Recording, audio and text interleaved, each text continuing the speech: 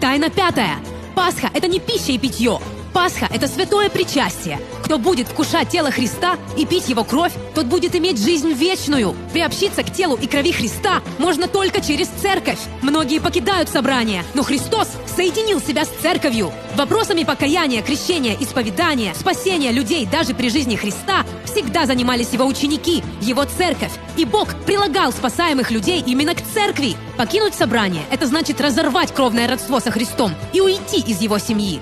Тогда не остается более жертвы за грех, только ожидание суда и ярость огня, готового пожрать противников.